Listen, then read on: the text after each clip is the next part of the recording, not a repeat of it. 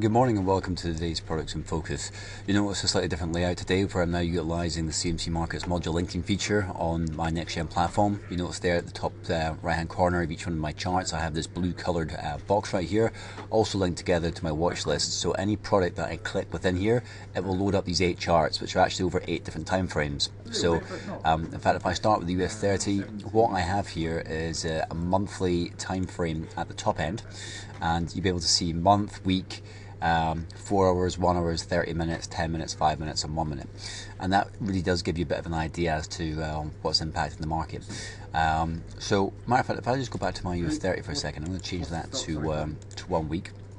I make this one day just to make that picture a little bit more clear uh, and you'll be able to see this feature in action. So if we actually talk about this on the weekly interval just for a quick seconds, you'll notice there was potential resistance at 18167. Um, we managed to, we initially broke higher, so we gapped higher and to trade above there, but only to close below this level. So 18167 is actually going to be the next potential resistance level and that's also not that far away from the price action right now to where the 21 period SMA is, which is a little bit above 18,000.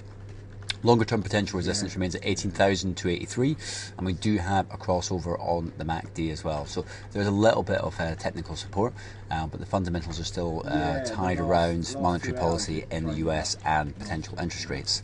So if we have a look at this uh, uh, across the other timeframes, um, what you can actually see is the volatility. So we look here, this is the one minute interval. So this is so far since this morning, you can get a bit of a flavour as to the sideways action and the volatility that we've seen overnight. And uh, we were in the middle of an uptrend here. This this here is the 30 minute chart. This was the start of an uptrend, quite close to that resistance. And then you can see there the failure to really capitalise to get through there. It tried to tick through, then drop below, and that's currently where we are right now.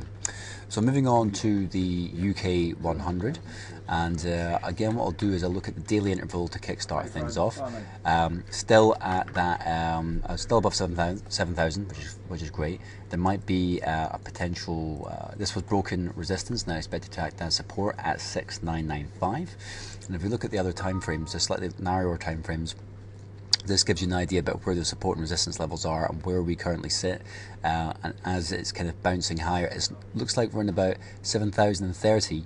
Uh, the tips right here is where it's struggling to kind of really uh, capitalize. So we're getting uh, almost like a little mini head and shoulders formation right here, and you can see that on the on the one minute chart that it's really just struggling to break that little bit higher in the shorter shorter term. So quickly moving on to the Japan 225. Uh, and we've not seen a huge amount of uh, of activity on the uh, Japanese yen. Still around about 119, 120. Um, but looking at the daily interval as ever, just to get a bit of a flavour how things are going. Uh, not that far away from 20,000. Uh, 20,845 still the potential resistance. Um, 19,104 will be the potential. Uh, what is the potential support level that's broken resistance? The other technicals are still massively overbought. So where does that leave us on the intraday? Well, you can see in the one minute, very very much much kind of sideways. Um, we are still grinding higher in that 30 minute interval right right now, but we do seem to be re- reaching a period, um, a, a, kind of a short term potential resistance level around about 19,740. Um, in fact, if I just go in here for a quick second, get my drawing tools out, and just put something along here. What you'll notice with the module linking feature is that will actually automatically add that across all my charts as well. So we quickly move on to dollar yen uh, which, as I mentioned, has kind of flatlined and moved to the uh, to the downside quite a lot at the moment. Um, from the daily interval, as ever, you can see you can get a bit of a flavour. I've cleaned this up to make it nice, nice and simple for everybody. Uh, that 119 spot 38 is the potential support level. So let me just draw that on a little bit nicer. And remember that will automatically update across all the other charts as well. And uh, you can just see here the the, the type of um, uh, kind of activity that we've been seeing over the last couple of sessions, and uh, where we are currently on that on that one minute. So a massive move to the downside, an attempt to break higher, and looks to be a consolidation around about 19, uh, 119 spot 60 as well. So moving on to uh, crude oil Brent at the moment. And normally look at West Texas, but let's give you a bit of a flavour of, of where we are. So this is this is it on the uh, on the daily interval, and uh, you can get a flavour that that's fifty two dollars has been the, the recent low. This is Brent rather than West Texas, which I usually cover. The longer term potential support is forty five dollars. So we've kind of been in, in, in a mid track. Uh, the last two days have actually tried to move it a little bit higher. Low legged candles are indicative of some buying interest. we're on the wrong side, or we're, we're slightly negative territory this morning. Uh, moving into the shorter time frames, uh, if we just jump on here to the 30 minute, you can see the big spike that we initially had, and then they moved down. Now we're making a period of high of higher highs. Um, uh, looking at the 10 minutes, it just seems to be kind of flattening off here, unable to capitalise. The moves were much more aggressive earlier on this morning um, and yesterday and this is just on, on, the five minute so you can just see that we're just slowly drifting down. But then when you look at it in the one minute it's just absolutely tanking first thing. Uh, from around about 7 um, this morning am uk time to where we are right now.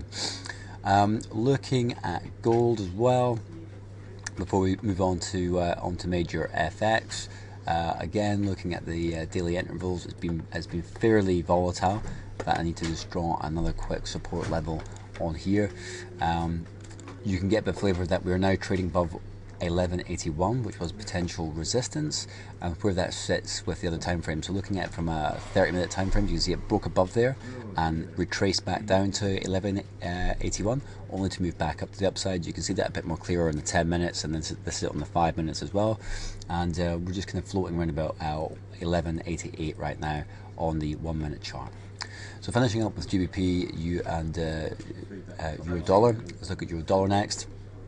And Euro Dollar um, has not done a huge amount. This is us looking at it from a, from a daily perspective there again. Uh, decent move to the upside yesterday, still in positive territory today, in between two ranges. One spot 0821 as potential support, one spot uh, 1110 as potential resistance. Uh, and if we actually look at that across the other time frames, you can see this extreme volatility that's in the four hours, on the one hour, uh, and where we currently sit, that's the 10 minutes. Um, we might have short-term potential uh, resistance coming up around here. Let me just pop the five-minute chart for a second. Uh, and we can just put a quick li- line right there. That was uh, the potential resistance at 7 o'clock last night. and didn't get a bit of a flavour of where that sits with the other charts as well. So we could be looking for a potential breakout to then challenge one spot 11 10 at some point in the future. You can see here the one minute chart is really trying to go for it first thing this morning.